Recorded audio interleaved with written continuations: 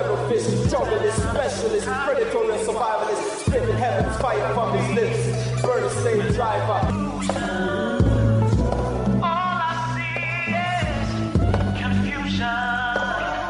Welcome, listeners. Tonight we have a good show planned for you. One of our dear friends is joining us again on the show. Grassroots activist and chair of the Michigan Welfare Rights Organization, Miss Maureen Taylor, will be joining us in conversation to talk about uh, what's going on currently surrounding the poisoning of the water supply in Flint, Michigan. Also, in the second half of the program, we'll get an update on what's going on with our farmers from Black Farmer and uh, Black Farmers and Agriculturalists President Mr. Gary Grant will be joining us. Also, one of the named plaintiffs from the Pigford versus Glickman lawsuit, Mr. Eddie Slaughter, will also join us in that conversation in the second half of the program. But we'll be right back after a brief word from our sponsors to get things started this evening. Mr. Moderator, our distinguished guests, brothers and sisters, our friends and, and our enemies.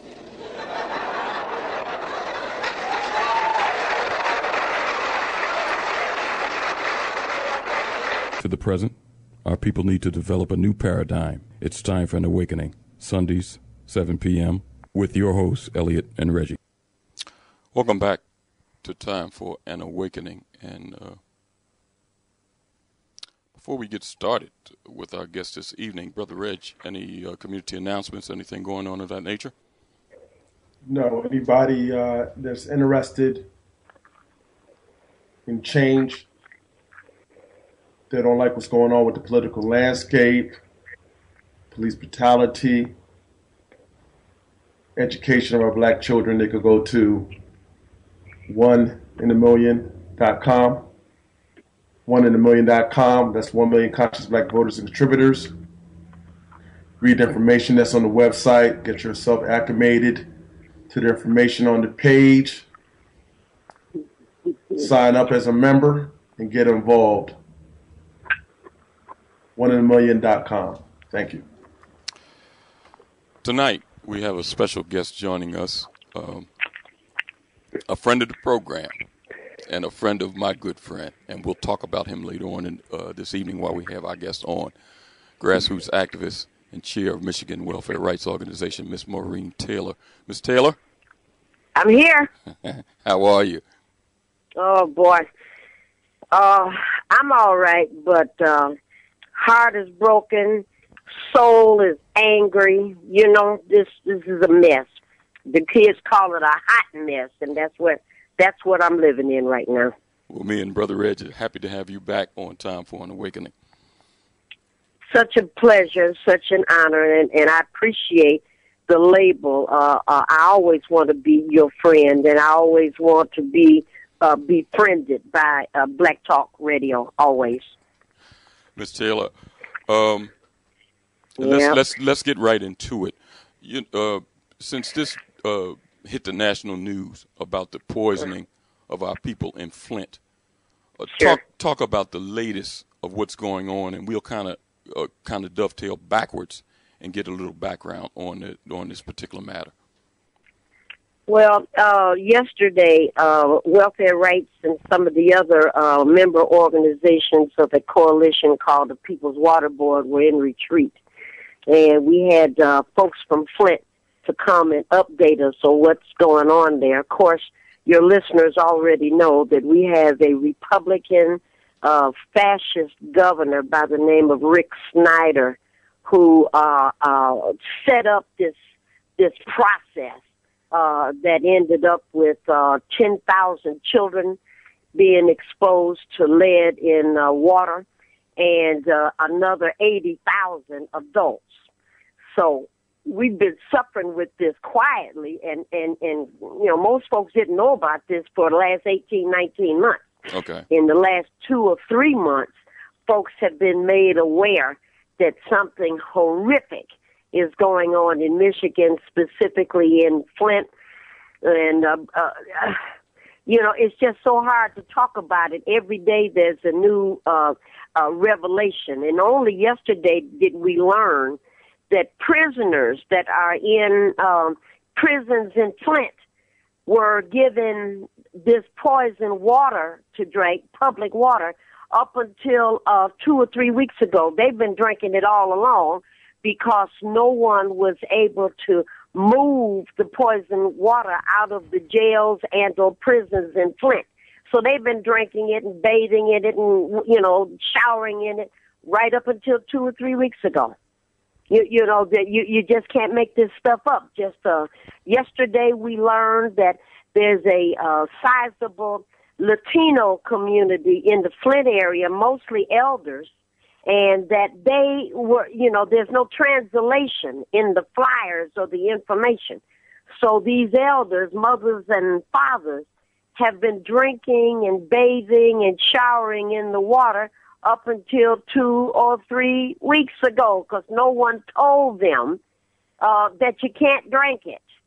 Uh, we just find out yesterday that there's a community of persons who are disabled and they don't speak and uh, are vision impaired.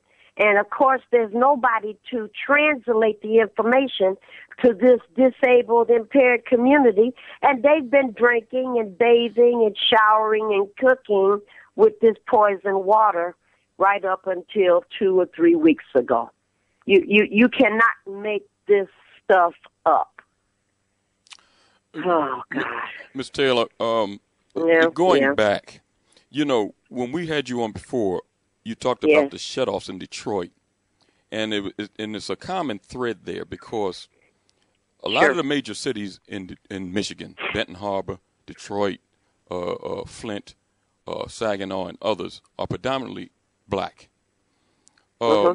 In Flint, you had an unelected emergency manager, something There that you you talked about before. I think his name was Darnell Earley hmm had switched to Flint water source, uh, the so-called Yep. save money to the polluted uh, Flint River. Yep. But then he tried to hide his hand and said he had nothing to do with it. Uh, Mhm. t- talk about this man because he was put in power, a black man, put in power uh, in that city by uh, uh, Rick Snyder, the, Right. the governor you were talking about, to basically almost commit genocide against his own people. Talk about a man. Talk about him and, and what happened behind this. Well, uh, l- let me go back even further. Okay. You know, at its height, the most, uh, the highest population that lived in Flint was just over about 198,000 people. And uh, it, of those 198,000, we're talking 20, 25 years ago. Of those 198 plus thousand people, 80,000 plus worked at one of the 11 automobile plants in Flint. So one out of every three persons uh, had a good paying job for decades. Okay, so folks were able to uh, pay taxes, buy houses, uh, uh, uh, buy cars. I mean, you know, the Flint piece, the Pontiac piece, the Detroit piece, Gary, Indiana, uh, all of those factory towns that uh, uh, sprang up from uh, the early 1900s to about the 1970s, 1980s, 75 years. These folks were uh, responsible for creating something called middle class neighborhoods all over the country. I mean, you know, we we we bought houses, we bought cars, we sent our kids to uh, uh, uh, Africa so that they could learn. We went to educational institutions, you know, and developed a paradigm, a profile in America that has not been duplicated since. So for about 70 to 75 years, these blue collar factory workers put their stamp and changed the American profile and the way things look forever. Then here we go, uh, uh, technology, robots started to come in, automation started to arrive, and it replaced uh, factories. It replaced factory workers, so that now the 11 plants that used to be in Flint itself is now one.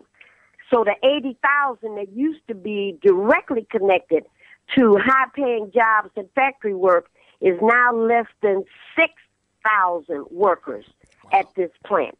So, you know, there's quite a economic explosion that happened And from the 80s to the 90s, all kinds of stuff started to happen. These factory workers that owned their homes couldn't pay the taxes, so the Great Migration started, and people started to leave Flint in groves. Used to be 198,000 that lived there. Now, over 100,000 have gone away, and there are less than 100,000 that live in Flint. So what has happened is that all of a sudden, Flint lives don't matter anymore. And here we go with this governor that decided uh, just beyond belief that the right for you to vote, if you lived in Flint or you lived in Pontiac or you lived in Detroit or you lived in Benton Harbor or you lived in Ecorse or you lived in Highland Park or you lived in Hamtramck, any of those places, if you didn't like what was happening, you had to leave because the governor decided that he had the right to set aside all the elections in all of those places that I just talked to you about, and he could pick his family and friends to take over something that was called emergency managers. And emergency managers are fascists. They are, are individuals that are set up to manage whatever the city is and they only respond to the governor. They are unelected. They are untouchables. You cannot get them out of office because they are appointed for the length of time that the governor says okay. So you had an emergency manager that was set up over the people in Flint who decided I'm going to sell everything I want to sell to my family and friends who need work, and there's no one who can stop me.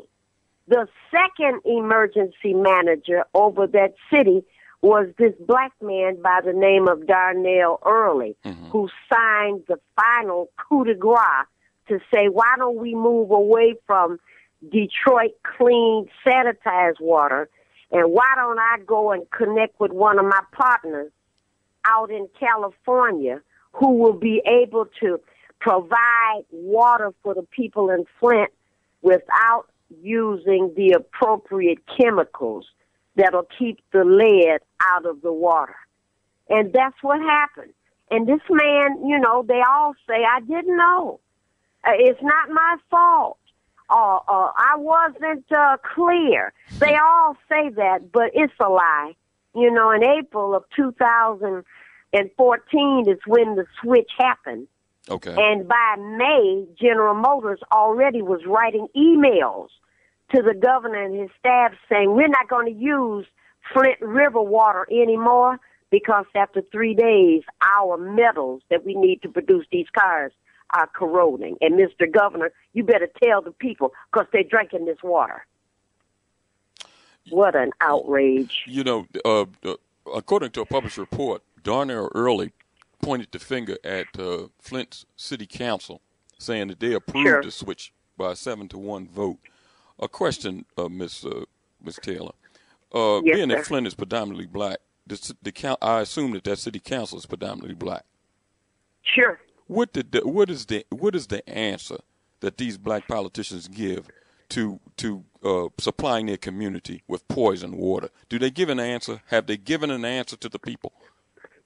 Well, yes. Uh, don't forget, once the emergency manager is imposed, mayors, city council, ombudsman, they have no power. Okay. So this is a symbolic group of uh, uh, black folks. And what happened was when the first uh, emergency manager, who was a blonde, blue-eyed guy, came to the city council and said it would be better for the city of Flint to let this other company provide our water and it's going to be safe. Of course, you know, they ask as a matter of a, a process. City council members all in favor signify by saying aye and all the hands went up. Okay? So that was the first uh, uh, wave through. And then by the time the second emergency manager, who was appointed again by the governor, said, I'm going to sign this, and uh, here it is, April, and I'm going to make this now a mandated policy. The city council members were kind of remotely used to raising their hand. What day is it? Monday. Raise your hand. What time is it? It's two o'clock. Raise your hand. And, and that's what they were doing. Uh, uh, and their attitude was, uh, uh, we've been told that it doesn't matter what we say, so we might as well agree because it looks like it might save the residents some money if we transfer from clean water that we know to this new source that we don't know, but folks told us it was clean, and we're gonna go along with it. Sister you know Taylor. how to spell? You know how to spell overseer? wow. Sister Taylor, this is Capital brother, O. Yeah, brother Reg, brother Reggie. I want to chime in on a point that you just made. So certainly. those city council people that we that, Yep. that are in Flint. Now I just heard everything Yep. that you said. Now you talked about the fact that they believed at that point in time that they were going to be saving the residents of Flint money on their municipal bill. Have they Yep. done anything for the people now that are getting this war, this bad water that everyone knows? What are they doing? Do they have to pay money now for this bad water, or or is there some sort of a moratorium on them having to pay this bill during this time frame? No, that uh, city council and uh, all of the, and I'm saying all of it because of the remainder of any uh, quote unquote elected officials in Flint, they're pretty much standing mute. And uh, they're taking the position, I was just doing my job. You know, I went in and I killed people and I genocided whole communities, but I was just doing my job. So they've taken that position. And in terms of answering the question about paying for poison water, uh, the people in Flint have been told if you don't pay your water bills, what we're going to do is shut that poison water off, and then we're going to report you to the Department of Human Services to let them know that you refuse to pay for that poison water. Now you have no water, which is the foundation on which the Department of Human Services can come in and potentially remove your children because you don't have water. I mean, it's the most bizarre situation. And of course, you know, after everybody screams about it, why in the hell would we have to pay for poison water?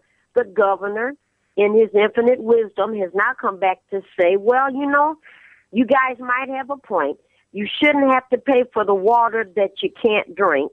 You shouldn't have to pay for the water that comes through your taps for washing and, and bathing and whatnot. But you did flush your toilet.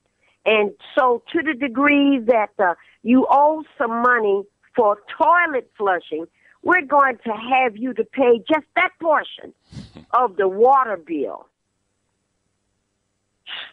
Wow. That's what we're living through. It's complete and utter madness. If I didn't know any better, I would assume that the city council, for sure the mayor before this really great mayor they got now, that they were all drinking the water and the cognitive disorder uh, uh, issues that are coming forward, that they've already started to show signs of being mentally impaired.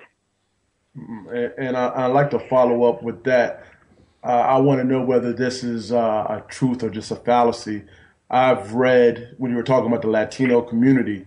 I read Yeah. several art, several articles where they were putting in the um, the water filtra- filtration systems in people's homes, which I'm hearing that it's not working. And when they're going to some people in the, in the Latino community, what they're doing is actually arresting some folks for being in the country illegal and other things, or be, you know, you know, parole violations, things of that sort. Is, is that accurate, or that's just something that's out there in, in, in a few cases? Let me, uh, again, I'm sorry to say, I mean, everything I say to you tonight starts off with, I'm sorry to say.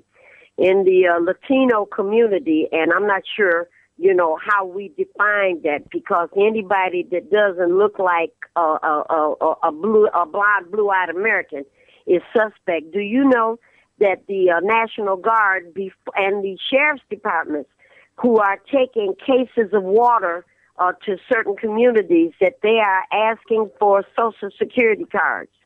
And if you don't have social security cards, and I'm told in some cases, picture ID, they will not give you the case of water because there's sus- suspicion that perhaps you're in the country illegally.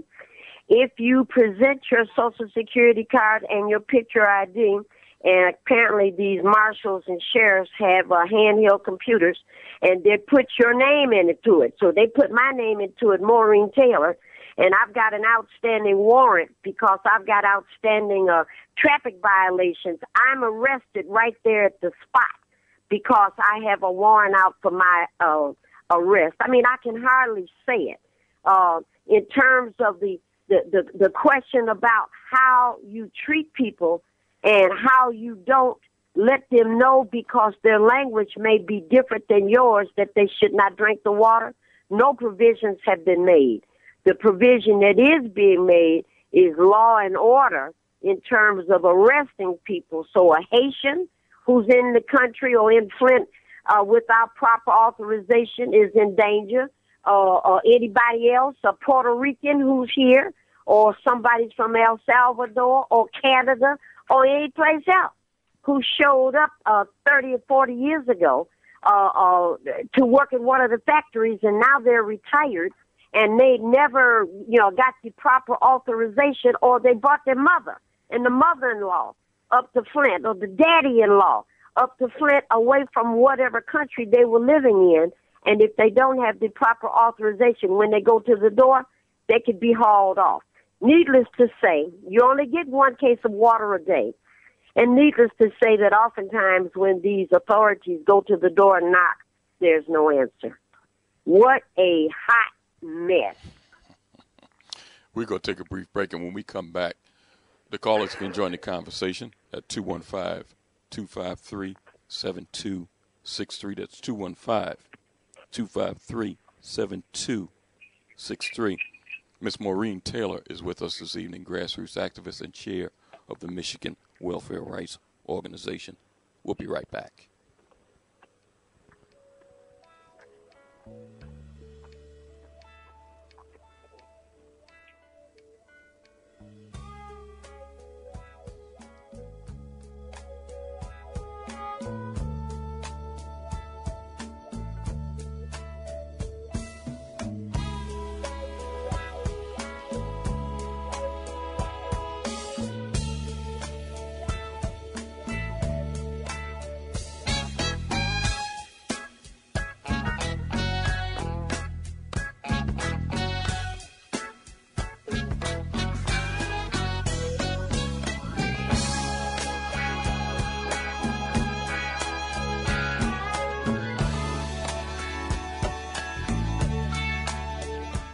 And one million brothers and sisters who are tired of the same old rhetoric, the same old leaders, the same old ways of dealing with political and economic empowerment. You realize that nobody's going to save black people but us, if you understand that no existing political party prioritizes the best interests of African Americans as a collective, if you believe that leadership is as leadership does, and this means that the best leaders for the black collective must come from the ranks of those who place and hold the best interests of black people foremost and uttermost, if you understand that black people must develop the mindset and the will to finance their own racial uplift organizational efforts, then get involved with 1 million conscious black voters and contributors. The movement is now. Go to www.iamoneofthemillion.com. That's www.iamoneofthemillion.com.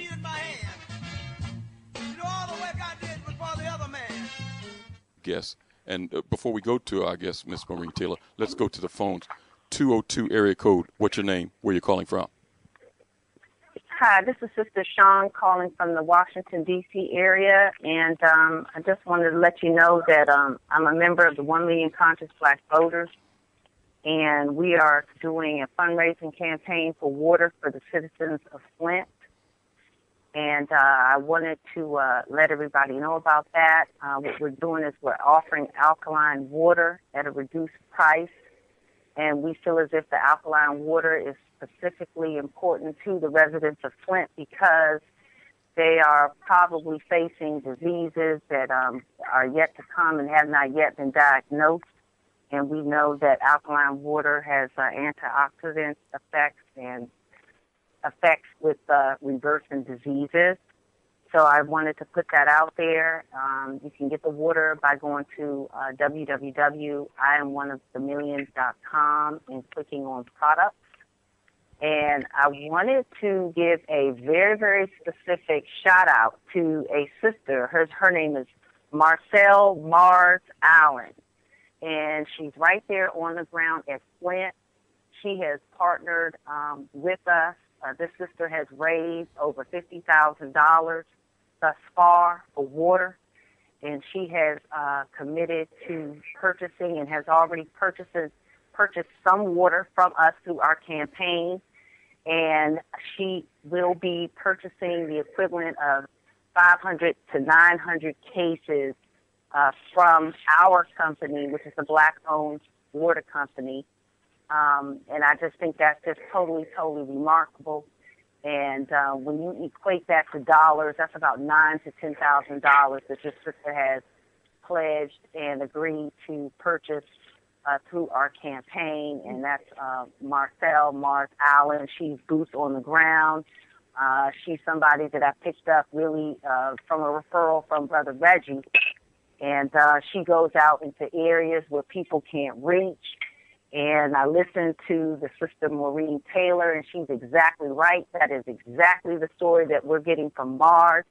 That we've got people out there who cannot get to these distribution areas and um, you know, for whatever reason, they may not have cars or gas, and they have health conditions, and they're walking miles and miles and miles just for one case of water. So this sister goes out and brings the water to the outskirts and the outbounds to people uh, who need it. So we're very, very appreciative of Mars on the ground, and hopefully Miss Maureen Taylor, and if Mars is listening, I think you two need to get together because she has an ongoing campaign and she's raising big, big money and she has pledged to use that money um, for um, in support of this black-owned water company, and I really, really appreciate that. So I hope I can get you guys uh, uh together. And in terms of uh, the uh, water uh, and the ID, you know, you have to present an ID to get water. I mean, I just think that's totally ridiculous because you don't have to get any, you present an ID to get a job and taking all of these jobs that immigrants have. You know, they want to reject what we call the E-Verify program, which is a program that will verify citizenship in order to work. So it's okay for you to not have an ID to go in and, you know, work, but you need an ID to get water. So that was just like another secondary thought outside of the campaign that I had. And um, thank you. So if anybody, if everybody would please support the campaign, again, go to www.imoneofthemany.com, click on our products page. You'll see a big water um, icon there, and you can click it and um, buy a case of water at a reduced price for our citizens and we have our sister Mars on the ground in um, Michigan, who is again raising big money and has a pledge to spend, uh, you know, at least almost ten thousand dollars of that fifty thousand dollars she's raised with us. So we're definitely looking forward um, to that, and it is an ongoing thing. It, it's really not just a campaign. To my understanding, this is something that is going to be needed on an ongoing basis. So we will be providing the discount at an ongoing basis to the residents of Frank Plant. Thank you, Sister Sean, for that information. Uh, Ms. Taylor, any Thank comment? Uh, yeah. Um, you know, um, I uh, one of the members of Welfare Rights, her name is Teresa, and she took a one year a sabbatical. Mm-hmm. I'm sorry, Giselle. she took a one year sabbatical and is in Korea teaching for a year. And uh, this story about the water situation has reached all the way around the world. And the children in her classroom mm-hmm. made a decision that they wanted to collect money so that they could send it to Detroit and we would send it on to Flint. But the kids asked a question in Korea which is the question all of us should be asking, asking ourselves. And people in Flint are asking that. How long will they have to live on bottled water? You know, and as important as it is that we send water and it's coming by the gallons. You know, it's coming by the uh, caseloads. As important as it is that we get as much water as we possibly can to folks in Flint that that need to drink it, because the poison water is still going through the pipes. We we have to go further. We have to find a way to not uh, uh, uh, let the the fox tell the the chickens this is the solution is to buy private water from private companies. It's important that we make certain that the residents of Flint have water to drink. But you can't wash your clothes. You can't take a bath. And uh, is you know I, I'm not fighting for the kind of country that we want to live in where we fight for bottled water. So my sister in, in DC, she is to be lauded. She is to be lifted up for uh, her campaign and for her work. And then somebody, Miss Allen, who's in Flint on the grounds, we need to underscore the, the, the need to coordinate our activities and whatnot. But I want each of us and every one of us that's here in this broadcast, if your water was turned off in your house, and I told you I would bring you a case of water, which is 24 bottles. I'd bring you a case every day. You didn't even have to go and get it. And I'd bring you a case of water every day. How long would it take before you would raise that question? How long do I have to live on bottled water? And that's the point, and that's the place where we are now.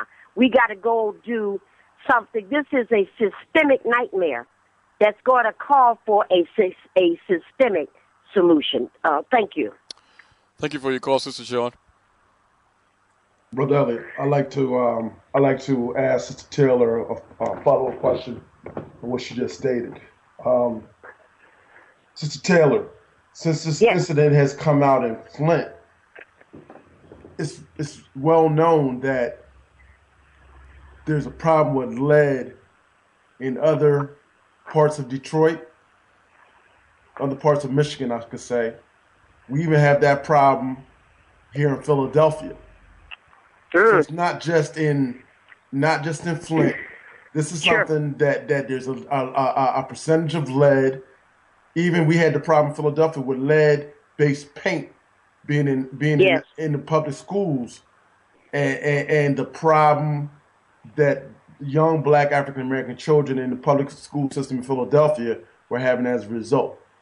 Sure. Um, what you're talking about is what's going to be done for the people to get a good source of water, which you're paying their municipal water bill every month, so they can have clean right. drinking water, decent drinking water, water to bathe, water to clean their clothes, like dance, man, etc. So that that that's the that's the the real crux of it. Uh, what I want to follow up and and ask you I watched the video yes, that you were in, and what has been the response from black clergy in the state of Michigan in reference to this problem? Okay, uh, uh, your your vision, brother Reggie, is 2020.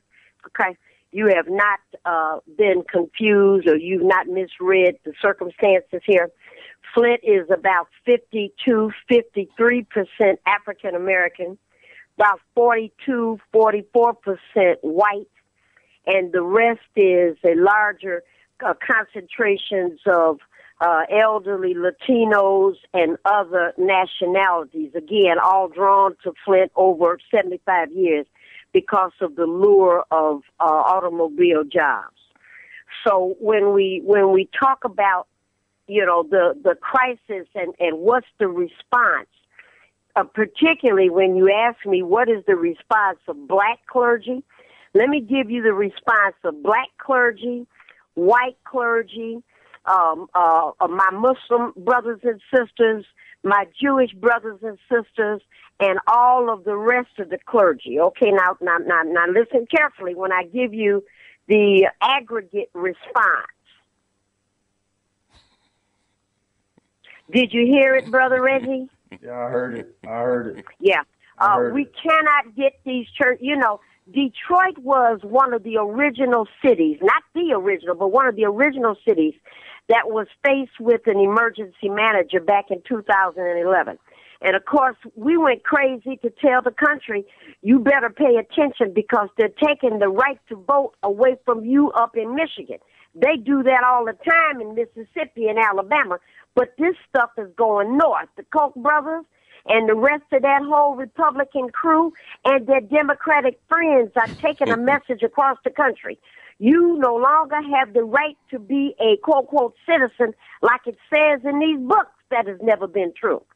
So we've been talking about this since 2011. The water situation in Flint started in 2013.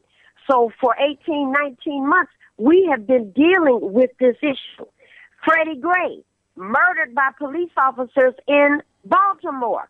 I only found this out a couple of months ago that he had uh, been involved with the ingestion of lead through paint and it already had developed long time ago cognitive issues.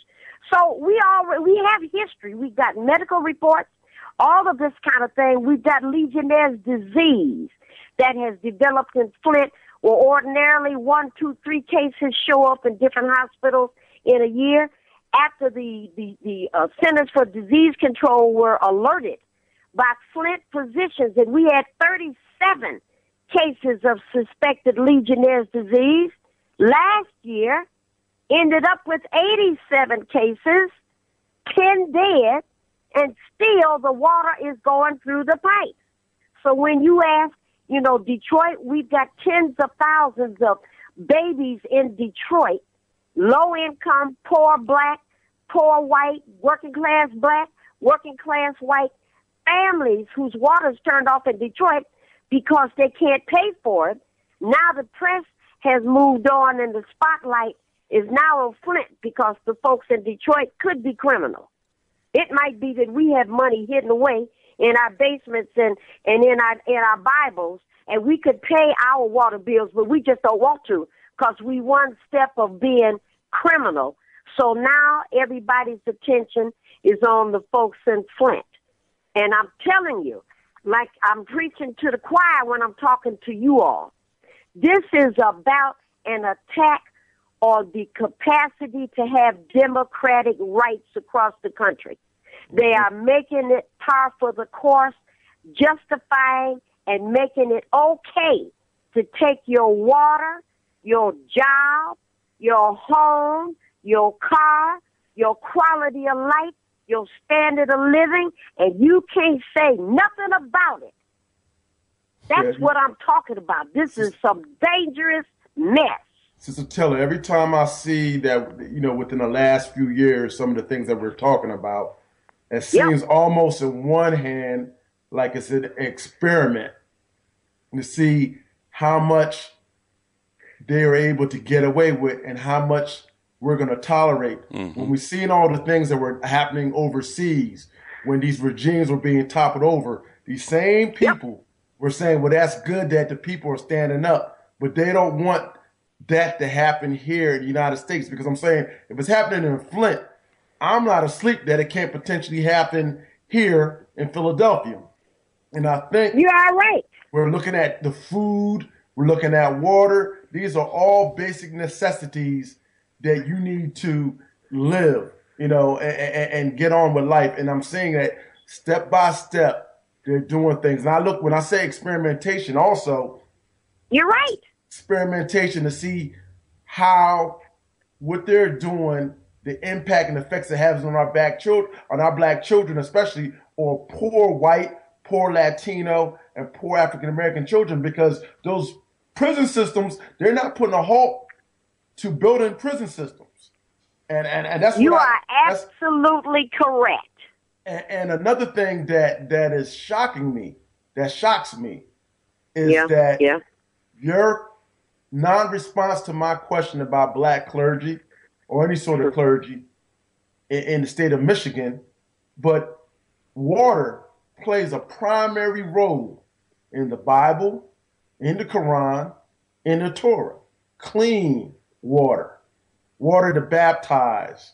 You know, if you believe in Yeshua and Jesus, he walked on water, put on water in the head as a cleansing. This is something that that that is prominent plays a prominent role, and I can't understand that no clergy is stepping up. Is that because I'm pretty sure there's someone that they know is being impacted by this, and and it's and it, I don't I, I don't know. It just it just seems very odd to me. But I I want to move on to one other question, and I have. And, and and let me just say, not not only are you correct, you spot on correct. Jesus all about water, walking on it, sprinkling on it, sprinkling people's heads on all this kind of stuff. But there's just a handful of clergy, just a handful that are stepping up here to say something. But that's because of what you started off with.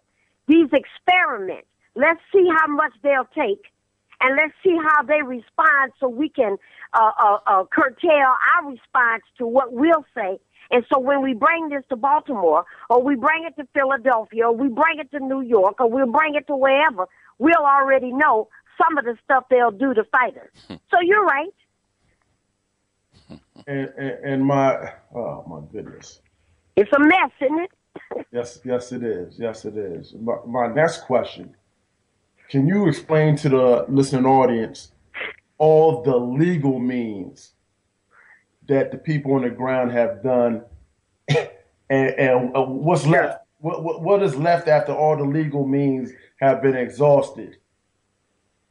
That, sure. That people, uh, uh, because what's going on there, we need to hear yeah. you tell us because yeah. there's a, more than a possibility and a likelihood. It might not be manifested with water, but it can be manifested in food and other things. We need to know what is the strategy after you've gone through marching, sure. going through getting a lawyer. When all those things are exhausted, what is left to do? Uh, the question is an outstanding one. Part of the retreat that was I, I referenced earlier that we had here in the city yesterday was to review what has happened and we've got outstanding lawyers, Alice Jennings, uh, Marilyn Mullane, um, uh, Mark Fancher. some of these folks that were involved early on in the uh, fight and the, the juries and the, the uh, court cases involved in making uh, uh, the city of Detroit stop disconnecting water at the homes of the poor. And we lost that case even though the judge wrote I know that my allowing these water shutoffs to go ahead is going to cause, this is what he wrote, irreparable harm and even to death. It is better for me to not stop this process of this Detroit bankruptcy and let these banks and these corporations get their money because that's what's primary. That's what the judge wrote. So here we are in Flint, and of course we don't have a choice because the American psyche, black, white, and whatever, they really believe that if you go to court and you have outstanding lawyers to go in and present a case about crimes against humanity, we will win. That's because they watch too much Channel 50 and watch all these other, you know, Hollywood, you know, presentations. And we think that by going to court, a good and a solid and moral ground, we will win. So we got, uh, sure, we got the lawyers, some of the finest attorneys you can find. They're in court all over Detroit. They're in court all over Flint. They're in court all over uh, Highland Park. We in circuit court. We in federal court. We got all that. We got legislatures. We bring them down. You know, you have to write some laws about national access to water, statewide access to clean, fresh water and sanitation and they're writing a, a legislation, and all of that is going on, you know, and, and and it's going through the case flows and whatnot, and the legislators call back and they say, well, the Republicans uh, outnumber us, so it's not a lot we can do.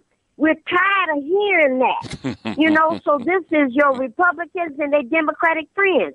If nothing else, stand up in the house of of, of the state government and take your doggone clothes off do something to read to resonate with the people that you are against this kind of thing.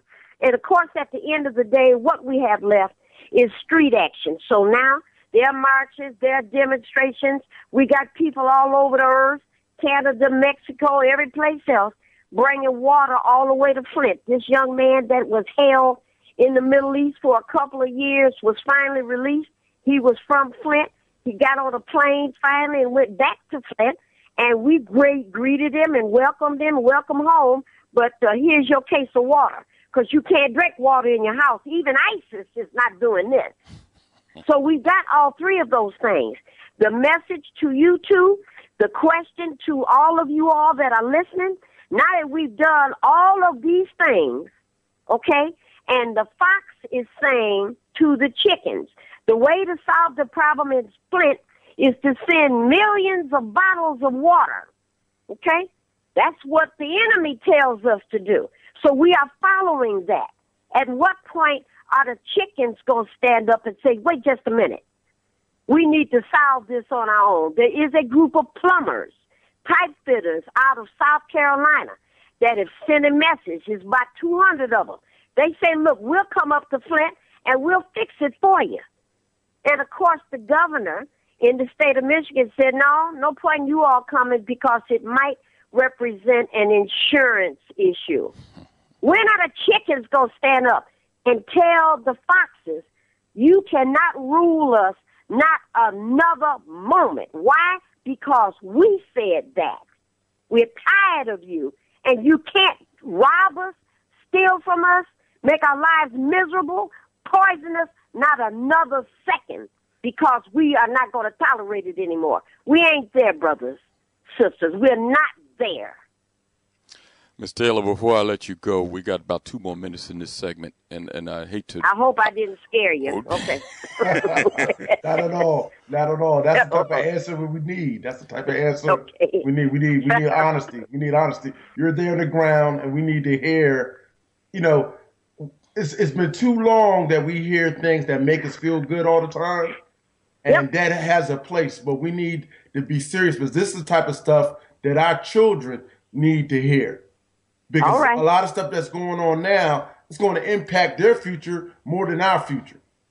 That's and for that's, sure. And, that, and that's my that's my concern. Our children are going to have to probably rise up. They're already rising up and don't even know why. Just know things don't things are not right. That's right. And I, and, and I, I, I applaud what you're saying because we need to hear that more and more when it gets in the minds of everyone that we're gonna have to stand up. There's only there, so much you marching go. you can do, so much begging and getting your knees. We have black politicians in all these major uh, uh, metropolis areas. Sure. They're not doing anything. They're and not lives are not better. They're figureheads. Yep. I'm not saying that they don't get a little done, but they're not getting enough done like they should for their black populace, period. So we might need to do things outside of their legal system and worry about there ourselves. You go. There you go. Ms. Taylor, before you leave us this evening, uh, spend about uh, two minutes uh, and tell us about our good friend, uh, Reverend Pinkney, and political Reverend prisoner. Pinkney, okay, he's a political prisoner. Reverend Pinkney is still at Marquette Prison. Uh, the crime that he was arrested and jailed for is uh, they said he tampered with dates on a petition to uh, throw out hand-picked corporate uh, uh, officials. And he's uh, uh, convicted of a misdemeanor and he's doing felony time. They gave him from two and a half to ten years in Marquette Prison. And Marquette Prison is a is an institution for high crimes. So your murderers, your uh, uh, uh, you know, the worst kind of bad folks are there. And that's where they put our darling Reverend uh, Edward Pinkney. Uh, he's there. He's been there uh, 400 and some odd days already. I want to say 412 days, and we're counting it off day by day. Uh, we've got lawyers involved. Here we go again. We got legislatures involved. Here we go again. And uh, there are folks that go up to visit him once a week, uh, twice a week as best as we can because Marquette from Detroit is seven and a half hours one way. Mm. So he's there. Uh, we would ask people, I'll give the number to welfare rights folks that can write him some letters. Okay. He would be so grateful for that. And folks can call us at welfare rights, 313 964 0618, 964 0618, and we will share the address for Reverend Pinkney, and we will share also the people to contact on the ground in Flint that are helping to organize distributions so that Social Security guard, uh, cards and IDs are not an issue. Ms. Taylor, send. Uh, uh, I'll get in contact with you because I want you to email me that uh, that address again for Absolutely. Absolutely. Ms. Taylor, I want to thank you for your activism, and uh, we'll be in touch with you. And you know it. And thank you so much. I do know that. Thank you for keeping us in your prayers, okay? Thank you. All right now. We're going to take a brief break, and when we come back, we'll continue the conversation. Time for awakening. You can join the conversation at 215 253 7263. That's 215 253 7263. Uh, Bridge, before we go to break, interesting dialogue that we had with Miss Taylor. Um, you need more activists like her because she sees the picture and she sees it for what it is. I like her explanation and response to what she said about it's time for us to start thinking of other things to do. She said that she was in the think tank or retreat earlier so they can plan a strategy. See, those are things that really need to be implemented in all of these cities, Reg. Yes, indeed. Let's go to break. We'll be right back. Música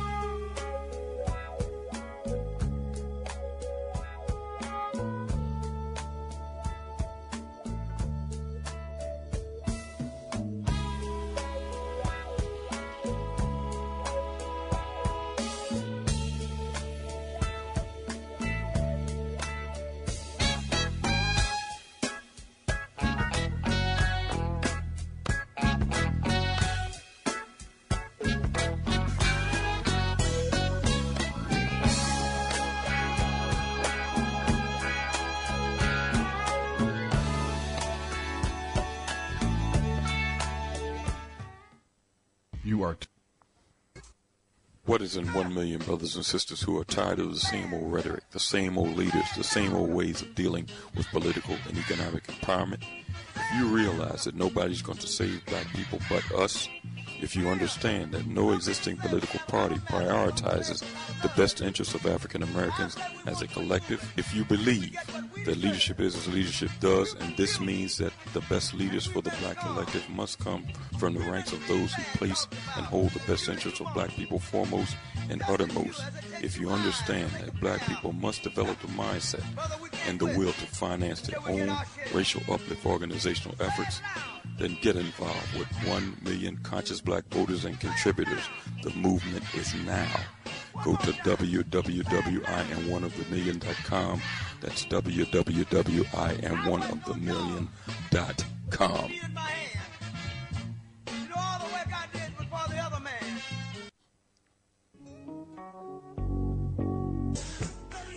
Welcome back to Time for an Awakening. I want to thank again our first guest,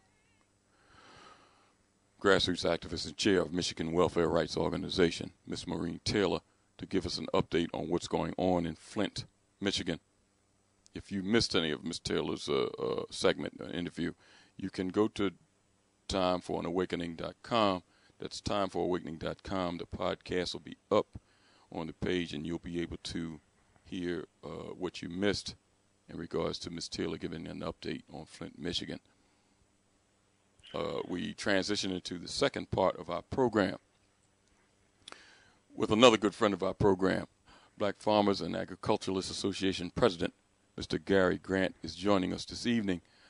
You know, it, it's a lot of a ballyhoo and, and fanfare in reference to the administration, in particular President Obama, uh, signing the uh, uh, uh, declaration to give to black farmers 1.5 billion dollars. It's a lot of credit has went towards the president in that regard, but we still see the discrimination that contributed to the decline of black farmers, as well as a lot of land loss, still persists. Let's talk about this with our guest this evening, uh, black farmer and agriculturalist president, Mr. Gary Grant. Mr. Grant, how are you, sir? I'm good, thank you. And how are you this evening? I'm doing great. You're here with with brother Reg. How you doing, Mr. Grant? Good evening. Is he? Is Eddie here? Uh, No, he's not with us as of yet. I guess he'll be joining us Oh, soon. okay. That's fine. I, I, I thought I heard you say that. Who am I? That there was someone else. Oh, Oh, uh, okay. Reggie, uh, brother Reggie, he's the co-host of the program. Oh, okay. All right. Mr. Grant, um, you know, I read a published report. Uh, in fact, Brother Red shared it with me about uh, the uh, black farmer, one of our farmers, Eddie Wise. And that's just a sample of the things that are still going on in reference to black farmers. Um, Brother Wise couldn't be with us this evening because of, uh, of, of, legal uh, uh, uh, wranglings around his case. But you hear these stories all the time, and they've never stopped since the quote unquote settlement. Talk about the status of our farmers before, uh, well, uh, you can talk about it briefly before, but even after this settlement, Mr. Grant, uh, what is going on? Well, nothing has changed. That's basically what the issue is. And uh, people who were in Pigford uh, 1 and now what's called 2, which is the bill that President Obama signed, uh, the government, even though it, it professes that it is changing what it is doing, it does not change. And those folk who were uh, at risk when the lawsuit was filed never never came out unless they had already lost everything. Uh, we lost 96% of the black farmers in America between 1981 and 1996. Uh, and that's an awful lot of farmers to lose in a 15 year span of time. Uh, and these were small farmers, and the process for um, people, uh, farmers making applications and going through the, the process is still the same. Nothing is going to change until the USDA makes some changes at its offices that uh, I never have understood why the people in America have not been outraged that two, a total of $2.4 billion was paid out uh, and not one person lost a job. So how are you going to change pr- processes and procedures when no one has paid a price in the government for the actions that they uh, committed back during that 50, it's not only that 15 year period, but all, all along uh, that time. Uh, people have been promoted. Uh, some have been asked to resign and and if they resign, they get all of their benefits and all of that, while the farmer has lost his land, lost his equipment, and a way to make a living. Uh, Mr. Wise's case is uh, just a another example. Can you imagine 14 armed federal marshals coming on your property to uh, escort you off without any notification and not even giving you time to pack a bag, but only the clothes on yours and your wife's back? Uh, and and we're supposed to be making progress in uh, making sure that the uh, the judicial judicial system works and that the uh, process at uh, USDA works, and it it does not work. It just does not work for the black farmer. Mr. Uh, Mr. Grant, on, on yes. that on that what you just said, stated about Eddie Wise, can you let the listener audience? A lot of people that are listening probably don't know about this case, but can you give them a little backdrop? Uh, because this was going on at the same time you had these white militia that went on that land in Oregon, and they were treated quite differently than Mr. Wise and his wife. Right. That this was uh, Mr. Wise was put off of his property on January the twentieth, which uh, I believe is the day that, or around the date that uh, uh, they did arrest some of the folk who had come off of the uh, properties there in Oregon. Uh, and Mr. Wise was not armed or anything like that. These folk have taken over and armed. You know, they're they're armed and all, and telling him, you know, that that we're not going to to accept this. If Mr. Wise had been armed, he swears out he that he says that they came to kill him anyway, but that he would have been shot on the spot. And looking at the rifles and guns that these uh, marshals were carrying, I believe that they would have done so. Uh, it's just such a, a, a two it's two different playing fields and uh uh, Mr. Wise has uh, the the first thing, uh, uh, Mr. Wise. It took him three years to get the loan for the farm that he wanted to, that he was buying, and that should not no, no process should take that long to, uh, to to get the money. And so this has been going on with him since the early '90s, since '91, I believe it, it uh, '91, and he finally got the farm in '93 or '94. Uh, and then operating loans are still being drug out and all of that, and it just makes it virtually impossible for a farmer to uh, do his best when he's frustrated about how he's going to get his funds. Uh, if if Mr. Wise had known, maybe he would have called some of us, and we would have been out there on his farm as well to see if we couldn't save him. But I doubt seriously that we would have gone in uh, armed. Uh, we did get a call from a, a group, I can't remember the name, saying that uh, my press release causes a divide with us. And I, tr- I told the person to go read the uh, 2000, uh, I'm sorry, the 19, yeah, the 2000 uh, Pratt report, the Civil Rights Action Team from USDA that documented what these agents had been doing and uh, they don't want to do anything like that. It's always that black people should forget what's happened to them, and uh, and and then we can we can move on. These folk have not lost any land. The people out in Oregon, they haven't lost any land. They haven't been put off their land.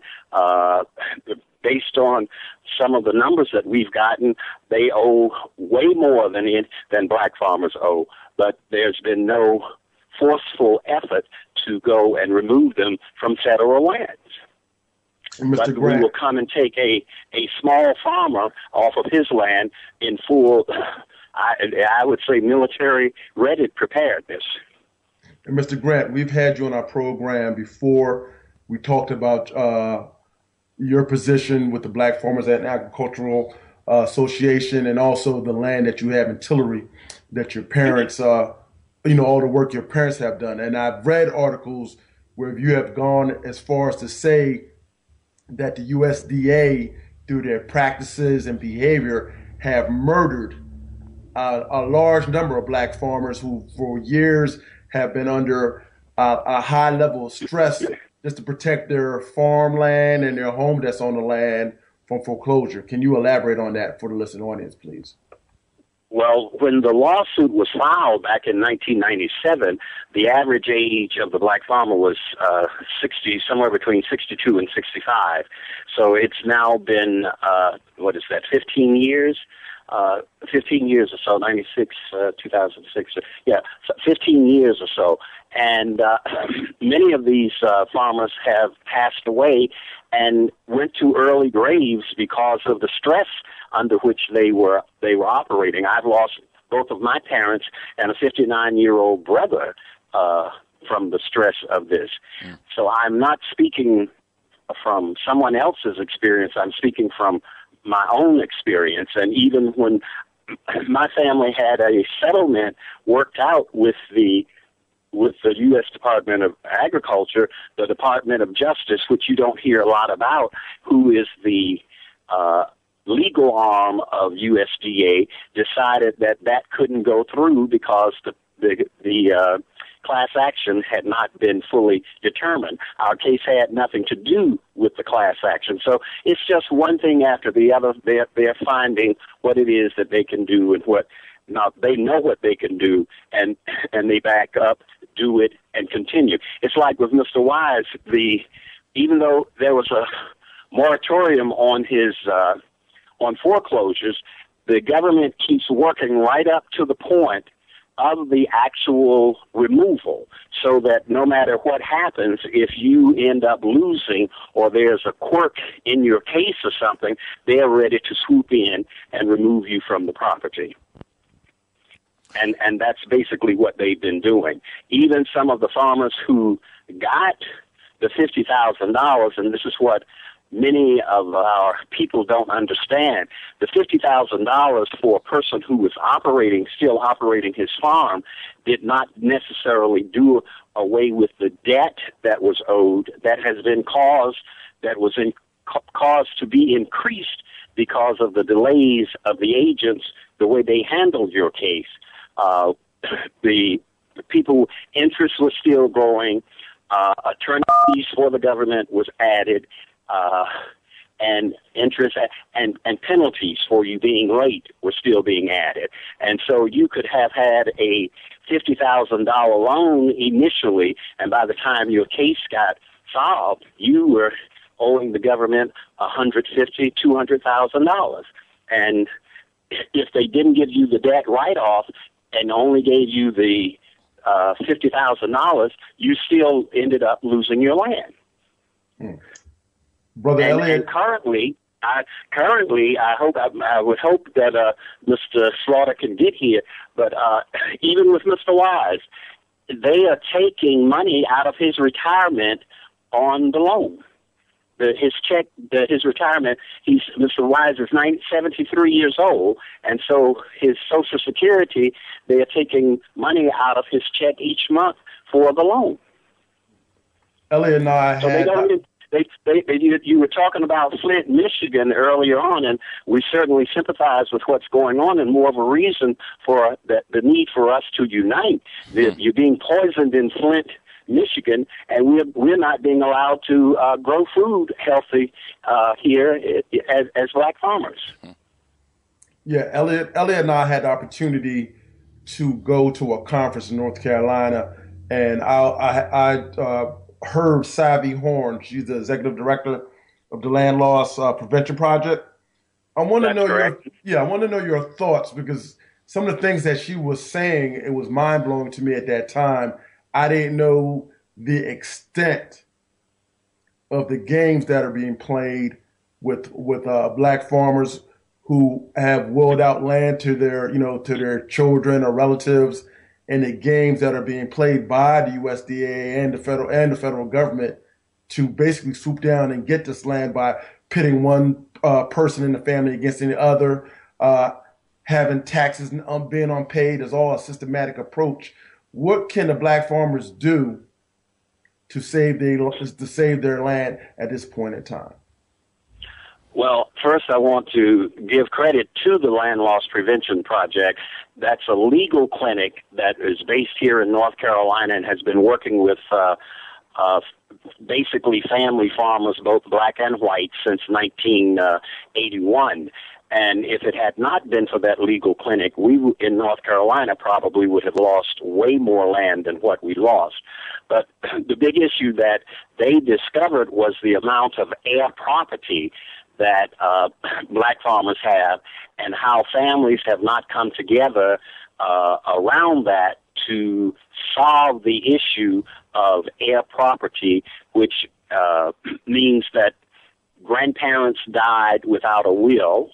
Hmm. And the, if if the grandparents had five children and the five children had five children each, you're now when when the parents began to die, you're talking about 25 heirs, and some people don't even know that they are heir to some property, and all it takes is for someone to call a person who's been living in urban America or the city all of their lives and be told, "Oh, you got a this piece of property down here in North Carolina.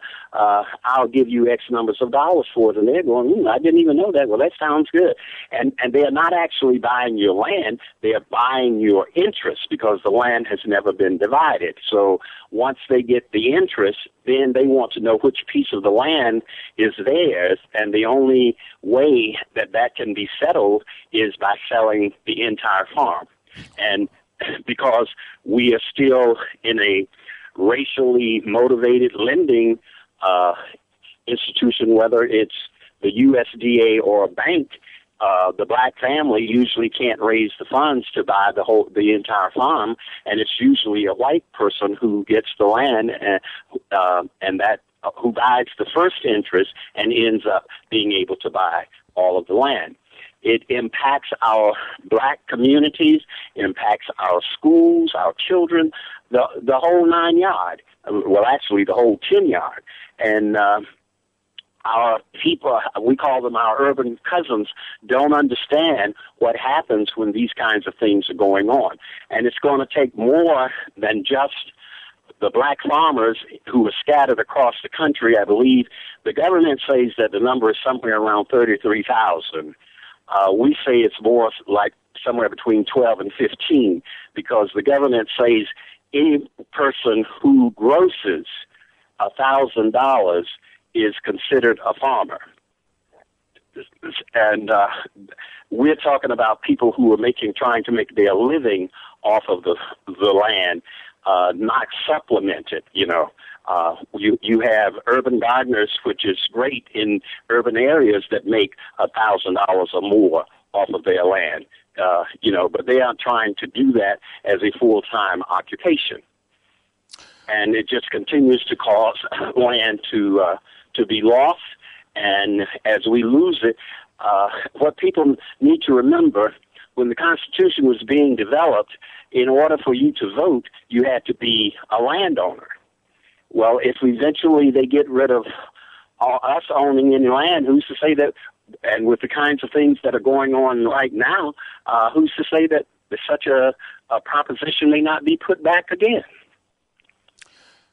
So it's up to us, and we we we we can, we we can put a lot of blame over on the those who have the power, and the, those who have the power are usually white. But we also can do some things for ourselves, and uh, we are not, uh, from my perspective, we're not coming together to do that. Mr. Grant, we're, we're going to take a brief break, and I'll try to reach out to Mr. Slaughter during the break. But before we do, okay, uh, talk about uh, in in the case of uh, Mr. Wise and other farmers that have been forced off their land. What happens to because Mr. Wise had a lot of livestock on his 106 acre farm. What happens to the livestock, your personal property, they, they, your home? They, they loaded the livestock uh, by the time he had gotten off of the property good because his wife is uh, somewhat disabled, and while he was dressing her, they were loading the livestock on on uh, the, the the trucks and uh, took them off, and we assumed that they sold them, and probably they will say they uh, they put the uh, uh, the payment on the end of his loan, not the current part that's due, but on the end of his loan. So they took the animals. He was growing uh, animals uh, organically, naturally, where they, they he had pigs that roamed and all of that, not in these confined buildings that industrial uh, animals are being grown. So yeah, they just when they come, they come prepared to take everything. I think he said there were six uh, 18 wheelers uh, waiting for him uh, uh, at the end of the farm up until the time that the uh, marshals uh, served him with the papers, and then they came on in and started moving the animals off the property.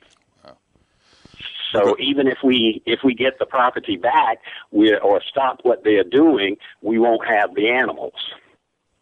And if they put the uh, payment on the end of the loan, it's not going to reduce what he would be necessarily delinquent by at the present time.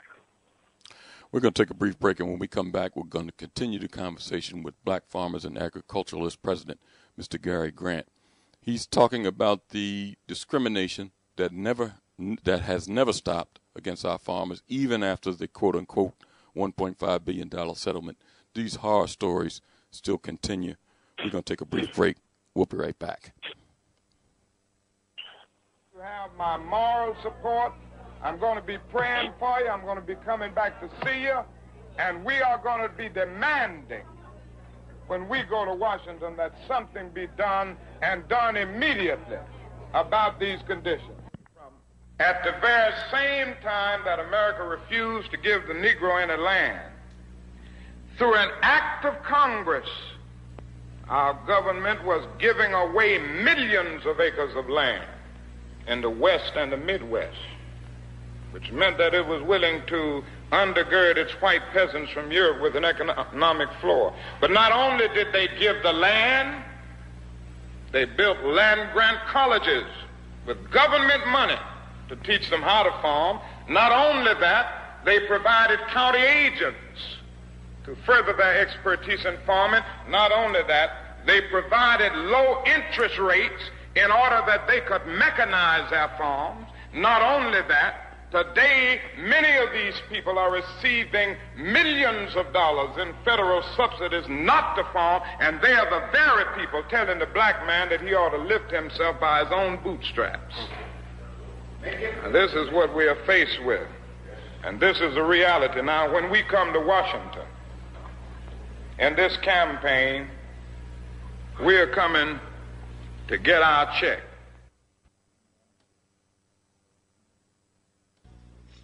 And I come here tonight and plead with you.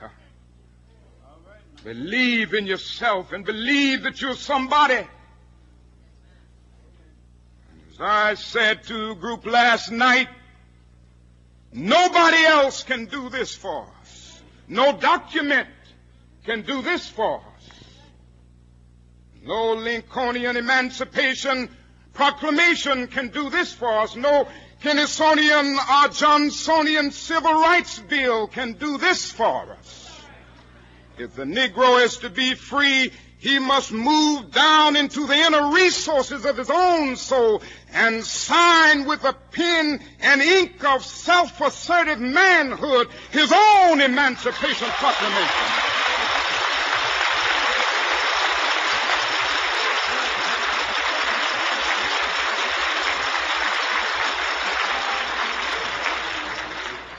Don't let anybody take your manhood. Be proud of our heritage. As somebody said earlier tonight, we don't have anything to be ashamed of. Somebody told a lie one day. They couched it in language they made everything black, ugly, and evil. Look in your dictionary and see the synonyms of the word black. There's always something degrading and low and sinister. Look at the word white. It's always something pure, high, and clean.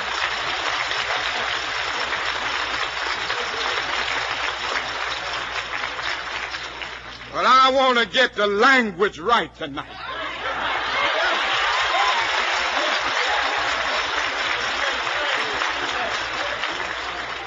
I want to get the language so right that everybody here will cry out, yes, I'm black, I'm proud of it, I'm black and beautiful.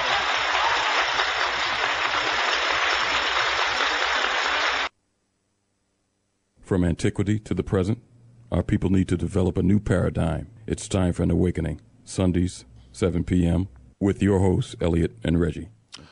Welcome back to Time for an Awakening. And uh, we're going to continue the conversation with our guest, Black Farmers and Agriculturalist President, Mr. Gary Grant, and also joining us, Mr. Eddie Slaughter, uh, named plaintiff, former named plaintiff from the Pigford versus Glickman lawsuit, the uh, initial suit that was filed against the government. If you've missed any of the program this evening, you can go to timeforanawakening.com, timeforanawakening.com. The podcast will be on there. You'll be able to listen in its entirety, share it with your friends. That's time for an awakening.com. Uh, let's go back to our guest, and I want to welcome to our program Mr. Eddie Slaughter. How are you, sir? Uh, I thank the Lord as well as it is. How you doing this evening, Brother Booker? I'm doing good. And you're here with Brother Reggie. He's still here with me. All right, Reggie. Hey, how, how you doing? Okay, I'm doing good. Good to hear your voice, my brother. All right. Thank you. Mr. Slaughter, you know, we've been talking to Mr. Grant about the status of our farmers since this $1.5 billion settlement, and the discrimination has not stopped or hasn't uh, uh, subsided one iota. We talked about the case uh, briefly of, of Mr. Eddie Wise, a farmer out of North Carolina that had his farm snatched from him by federal marshals.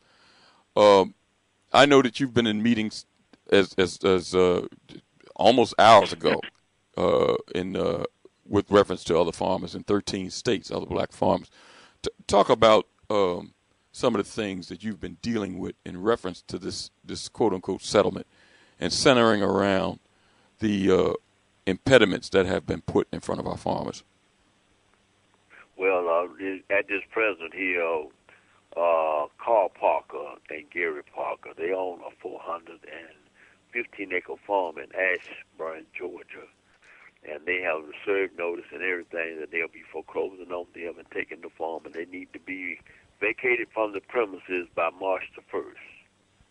And uh, that's just, you know, spots of it. Uh, all of us that participated in Pigford, because it was such a miscarriage of justice that not one black farmer, and this thing affected over 34,000 farmers, but not one black farmer received justice.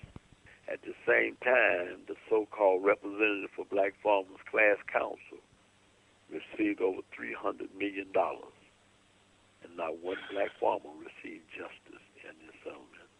That's a moral disgrace.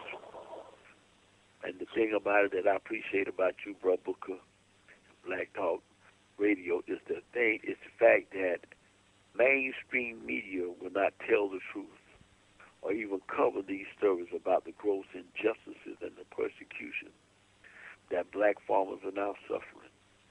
We are actually, uh, April the 14th will be 17 years since the signing of the consent decree saying, you know, pray black farmers and do justice.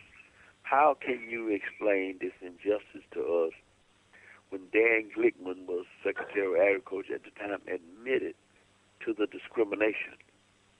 But yet, when it turns over to Judge Paul Friedman and the adjudicators, the facilitators, the arbitrators, and class counsel, they can't find no discrimination with one case of black farmers. And the most miscarriage of justice of all of it is, is that they always talk about the fifty thousand dollars. Well, we did not agree on fifty thousand dollars. That was a figure that came up between Al Pires and the rest of them. No black farmer wanted track A because fifty thousand dollars would not cover their actual losses and damages. But they was able to hurt us in there and say, well, if you go track one, you'll get fifty thousand dollars, and then you'll get debt relief. And everybody was saying you get your farm back, and everybody saying, hey, if I, I ain't gonna go see no justice no way. If I go track A and get my farm back debt free from USDA, I'll be satisfied. And not one black farmer was able to get debt relief where he had his farm released. And it was amazing because you go through that whole scenario. They will give you debt relief from emergency loan, livestock loan, production loan, equipment loan. But when it comes to farm ownership, they can never find discrimination. So when they say that we gave so many million dollars in debt relief, that's a lie. Because when they come to take your farm and they put you, issue you a notice of acceleration of collection of debt and foreclosure, on page two it says that we take all of your livestock, all of your uh, production crops in the field, all of your equipment and everything.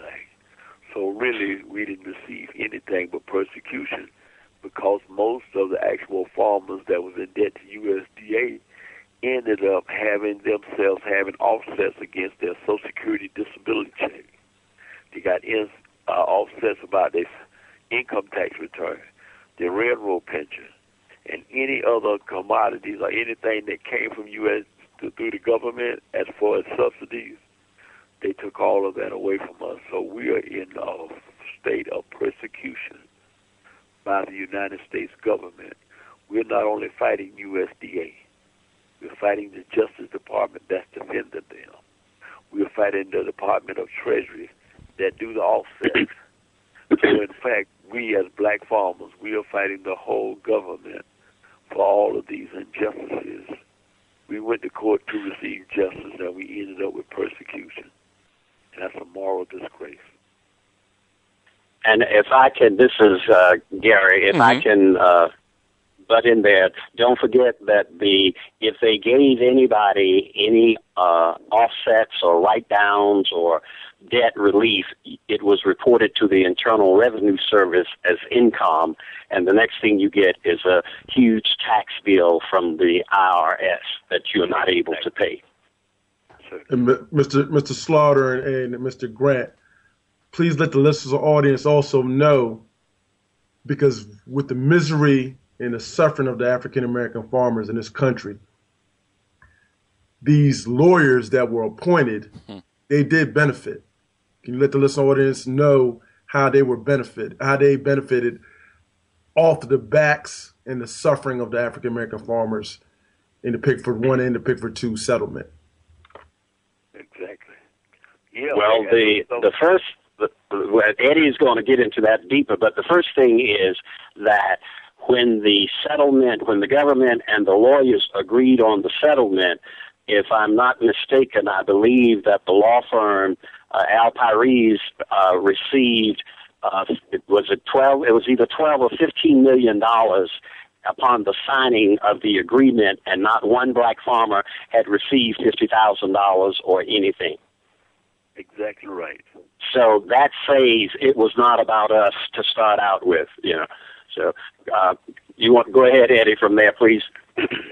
And uh, when we talk about equal justice under the law, it is unequal and unjust because we talk about the 14th Amendment of the Constitution that it promises us life, liberty, and property. I'm having to question the 14th Amendment when you say life, liberty, and property. Is it my property that you're talking about, or am I that property? Am I the property? Because we was property uh, at one time in this country. So maybe we have misunderstood the Constitution, and it does not apply to us. Due process of law do not apply to us. We have demanded hearings. It doesn't apply to us. And the Constitution guarantees that everybody is entitled to uh, be heard in a court of law. And so when we run around today and we're talking about all of this, uh, the uh, freedom and, and, and liberties and justice for all, it's not justice for all because we are excluded. And then, too, the other thing about it is even President Barack Obama signed a $1.3 billion settlement for black farmers. And very interesting, we had one of our farmers that knew how to go into and track what was going on in the courts. Every time those lawyers filed something before the court, they demanded money and payment for themselves. At no time did they demand payment for black farmers. So they got over a billion dollars, and then when they ended up with uh, 200 to 300 million dollars, they wanted to give it to nonprofit organizations that had links to uh, farmers and helping farmers and outreach assistance to them. And that's nothing more than a sham. How can you have a $1.3 billion settlement and the lawyers can legally run away with over a billion dollars? That's a moral disgrace. That is a moral disgrace. Mr. Grant and Mr. Slaughter, I, I want to read you a, a quote uh, from John Boyd and get both of you to elaborate. Uh, he states uh, black farmers still face unfair practices and struggle to gain a rightful place in America's agriculture and food production systems.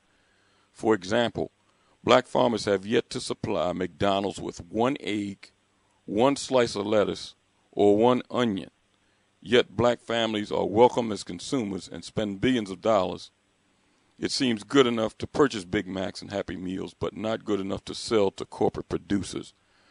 Talk about that because, see, these are the things that you don't hear on the average black talk stations. The, the, the average black talk stations with the popular hosts are, are touting the Democratic Party.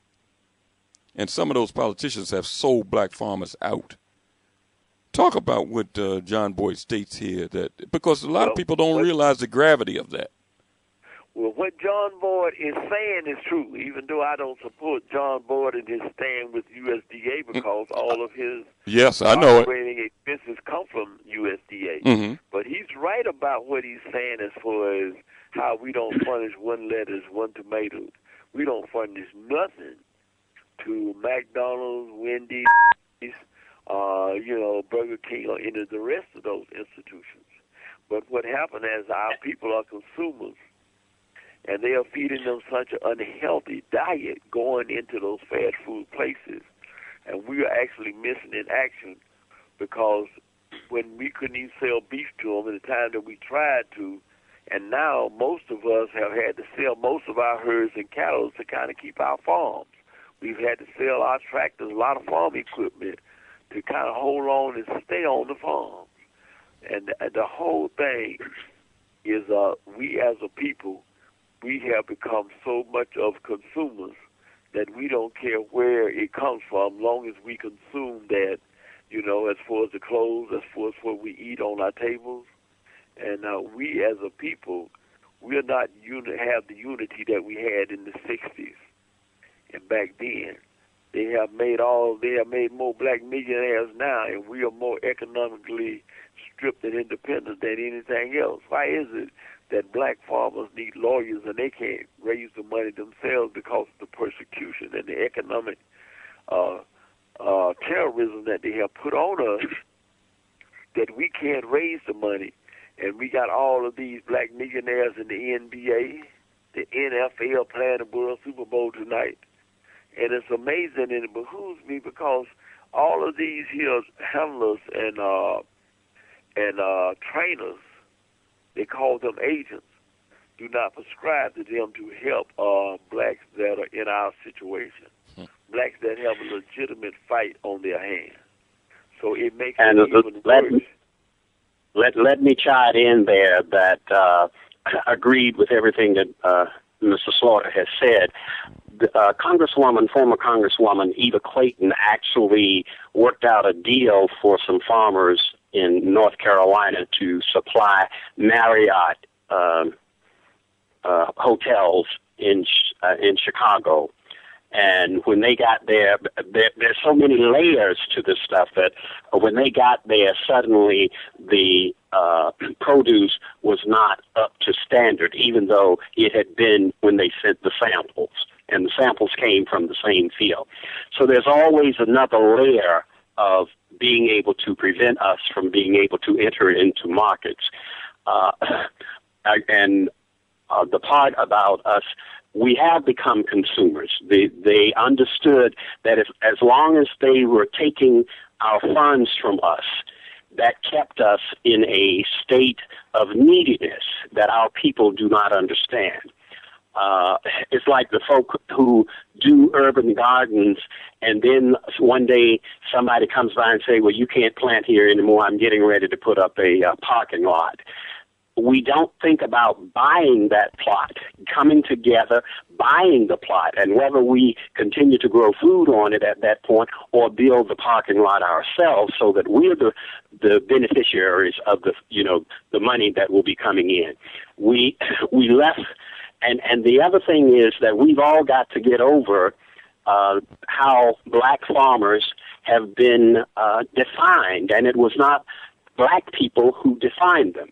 It was white America who defined us as ignorant. Well, if you didn't let me go to school, what else did you expect me to do? Uh, lazy. Well, if you aren't going to pay me, why am I going to break my back for you anymore? You know, we, we don't understand that. And therefore, if we're going to be farmers, we need to own the land. That gives us the independency to be able to uh, sell and, and, and produce in the manner in which we choose and what it is that we want to do. But we, are, we, we as a people, don't see that, and the the movement for integration uh, reinforced that we should become uh, cons- uh, consumers. You know, I, I try not to go into Walmart if I can. But everybody says, oh, you got to go to Walmart. That's the only place to go. There's so much cheaper there. Well, if I was selling everything in in America, uh, in and and putting all the local businesses out of business, yeah, where else are you going to go? Uh, so we, we don't think in those terms, and we don't think in the terms of of uh, land being uh, dollars. I'm in a resettlement farm community that was established in the 1930s where 10,000 acres of land was made available. Did not give it to us like what Mr. Slaughter was defining. They made it available and made it possible for us to purchase it in the 1930s and 40s, and then in the 1960s and 70s, they began to find ways to take it back. So if we don't get it out from under the the bank and even the government, we uh, uh, we are prone to lose it, and we lose our independence, and you can't speak up the way that you need to. Our black professionals who and and uh, athletes who are out there making all of this uh, money tonight at the uh, the the 50th uh, Super Bowl.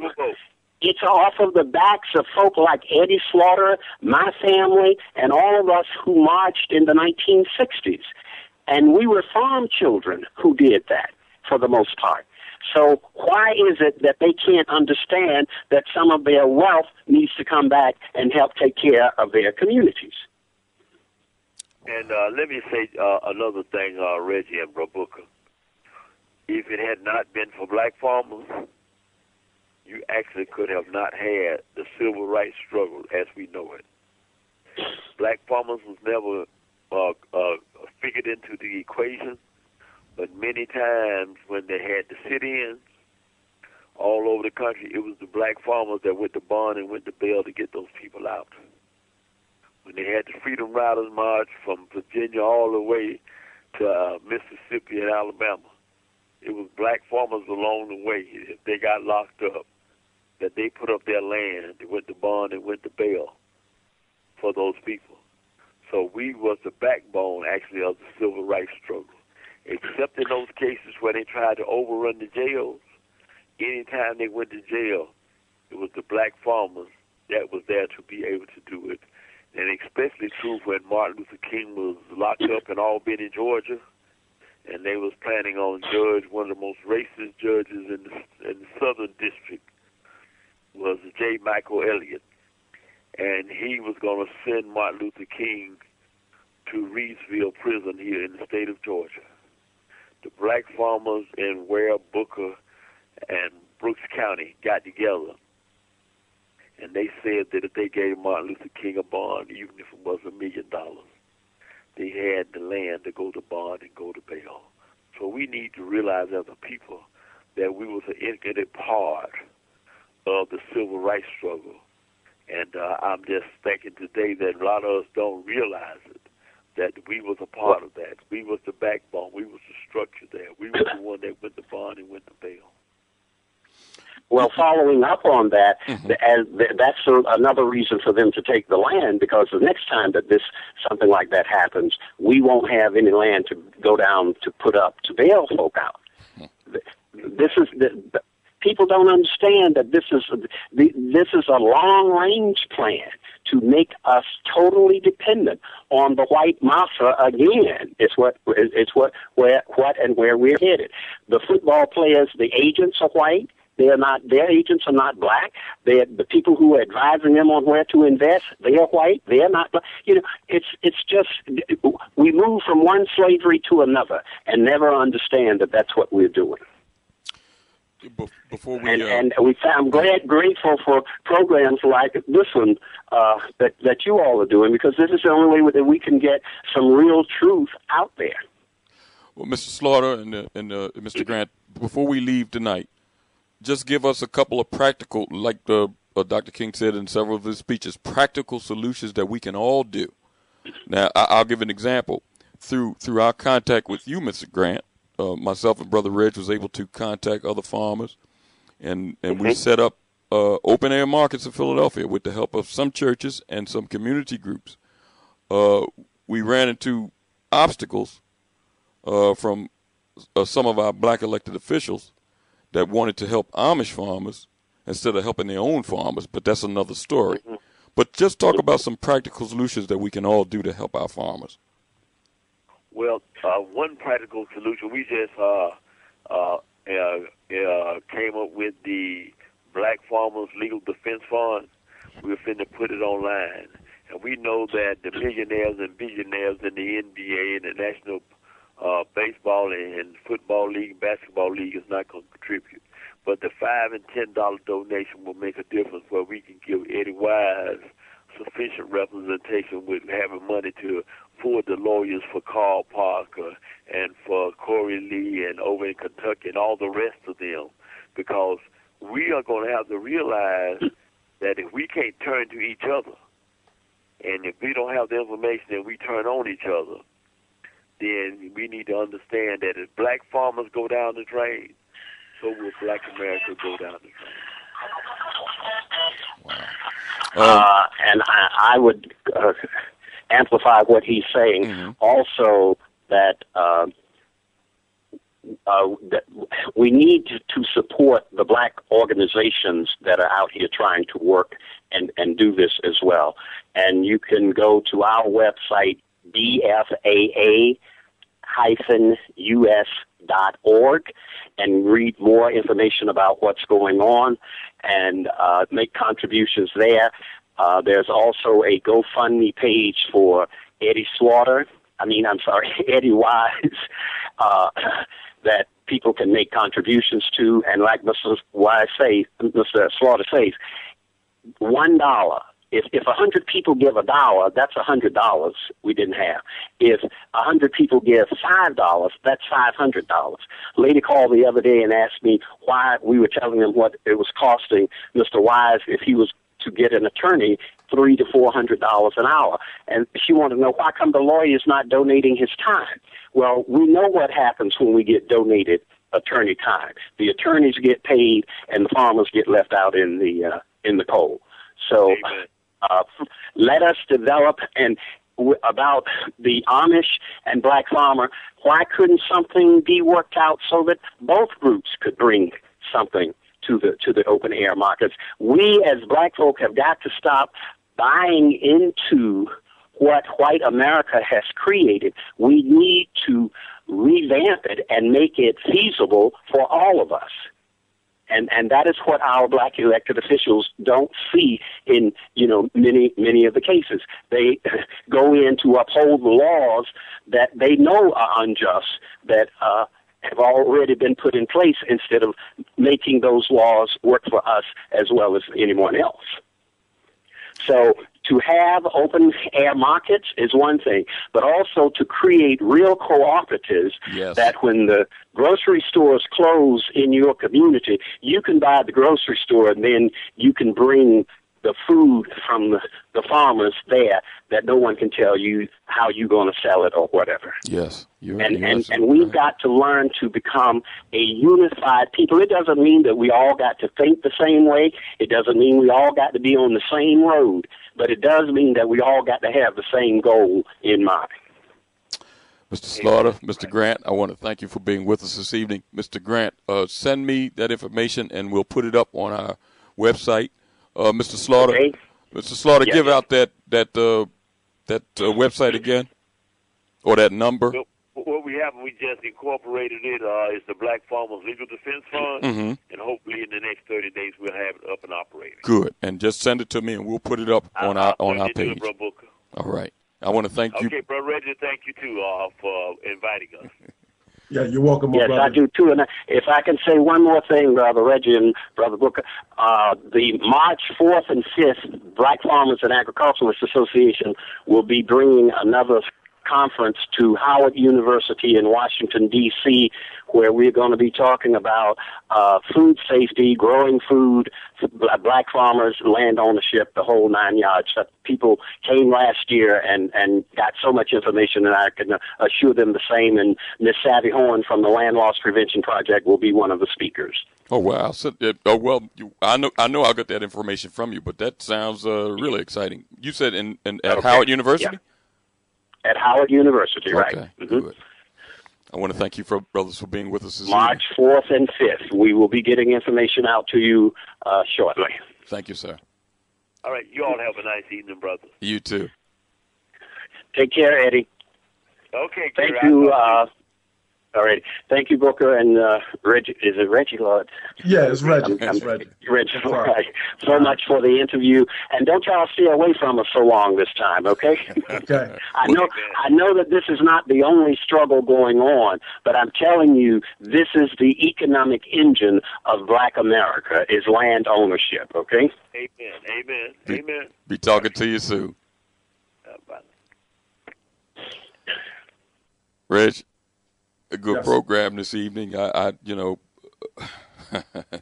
Miss Maureen Taylor. You know she's on fire, and Brother Grant. Gary Grant and uh, and Mr. Slaughter. I mean, they they're, they're tireless workers, and they're not young men, but they're not giving up. I, you know, I meant to ask him about uh, Brother Abrams because the last time we spoke to him, Brother Lucius Abrams, his farm was up for uh, uh, to be swiped by the government, and he had 800 acres. Reg, if, if you notice, these men that they're talking about, these men don't have, you know, they consider them small farms. But to me, that's not a small farm when a guy got 106 acres, 450 acres, 800 acres. That I mean, that's a lot of land. I talked about everything that you heard the men talking about. I discussed it um, two Saturdays. Matter of fact, last Saturday, when we had the Women Conscious Black Voters and Contributors local meeting. Okay. We had some other community groups come out. I might be saying, was it last Saturday? It might have been the Saturday before last. Excuse me if I'm getting that wrong. But I talked about the plight of the black farmers, that we need to support them. We don't have any food on these shelves. And our young children that don't realize that the food comes out from the ground, from the dirt, doesn't come in a can, doesn't come in a box. That we need to start connecting with our African American farmers because we need them as much as they need us. And that's the connection. And I also mentioned any black person that you hear is talking about what the government is doing, talking about revolution, talking about black power. You hear a lot of these brothers, you see them online, you see them at different uh, meetings in different states and different cities. They're not awake for real, for real, because you can't talk that stuff if your enemy is the one that you're getting your food from. Or if you have a dollar bill and you're spending 90 cents of your food money with the same people that you have a problem with, hmm. it doesn't make any sense. And that's something I want to just kind of hit home. Not trying to be hard on our people, but it's something that we really have to look at. You can't talk about moving away from the system. The system is wrong because those people still control your food, your water, the land that you live on, all these things are, are serious things that this oppressive country that we live in. You might not think it's oppressive because you're able to move freely, go to and forth, but best believe that there are strings and there's only so far you can go. When you cross that line, you'll find out that's rich or poor. I don't believe in that middle class. I believe there's only rich or poor. Most people that are middle class, if they make one mistake in their financial life, they're poor. That's it. wow. And uh, you know, you mentioned it earlier, Rich, and I'm gonna echo that sentiment before we leave this evening. Go to www i am one of www.iamoneofthemillion.com. That's www.iamoneofthemillion.com. Read the planks, and you'll see one of the planks there in support of black farmers. So you can join the organization and get behind some of these initiatives. Um, also, also they could go to the products page on the website if you if you are willing or able to uh, buy a case of water to send down to Flint, Michigan. There's a way you can do it. There'll be alkaline water. You can uh, go to the website. I am one of the million.com. Go to the products page, and the water can be drop shipped. We have someone there on the ground in Flint to distribute it to our people and we actually made extra connection on tonight with uh, Sister Taylor, so we can uh, connect her up with some of the people that we know down there in Flint, Michigan, to uh, get this water out to the people. And this is only one solution. There's only one way of looking at this. It's not the real final solution. So I don't want anybody to think that we're in here touting sending water. But you best believe if I was here in Philadelphia and we couldn't drink the water, couldn't be able to water, you know, we'll be very receptive of receiving water until we figure out how to really deal with what the f- fundamental problem is. And the fundamental problem is is racism, classism, and hate for poor people, especially hate for black folks. And we need to start coming up with different ideas and solutions. And if we don't come up with different ideas and solutions, start reading some of the books that have been out look at some of the movements in the past and start implementing some of these things. You can't implement or do any of these things unless you're organized and serious. If you're not serious about it and you're not organized, nothing's going to happen. I want to say one other thing too, uh, Elliot.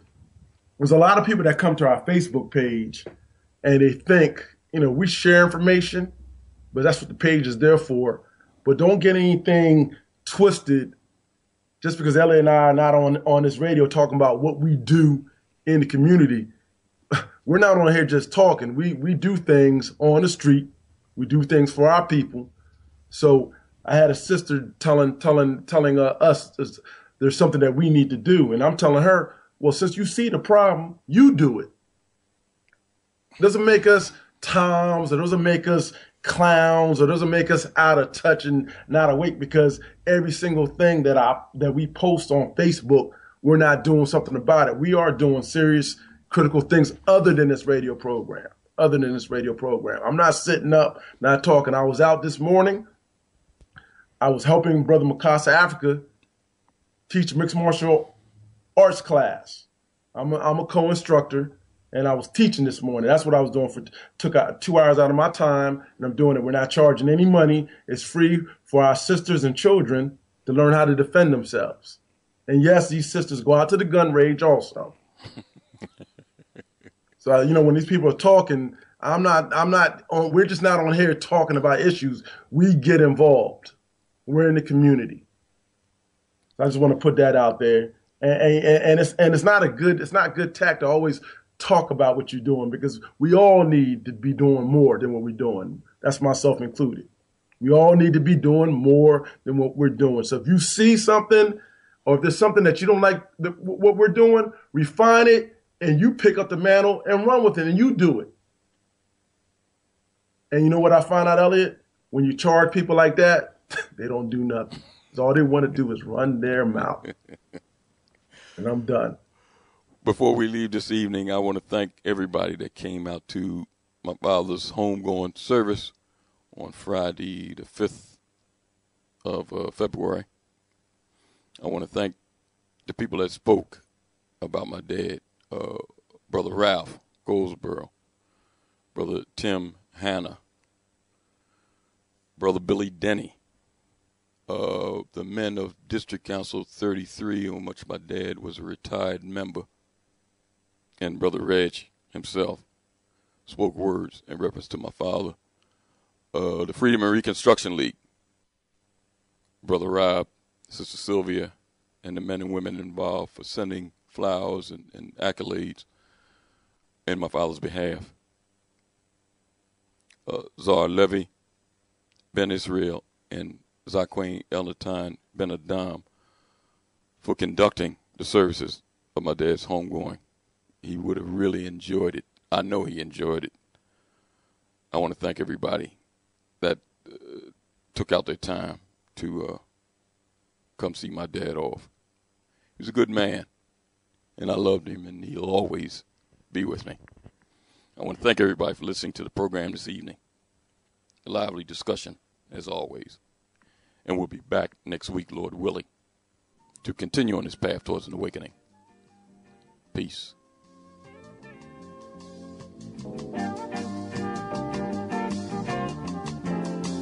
If you're driving through the country lazy afternoon,